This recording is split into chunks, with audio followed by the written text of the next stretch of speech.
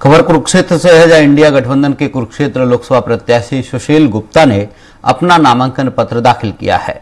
इस दौरान उनके पूर्व मुख्यमंत्री भूपेंद्र हड्डा और हरियाणा कांग्रेस के प्रदेश अध्यक्ष उदय भान भी मौजूद रहे।